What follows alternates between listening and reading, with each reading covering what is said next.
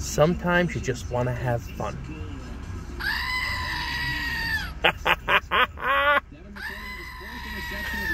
I love it.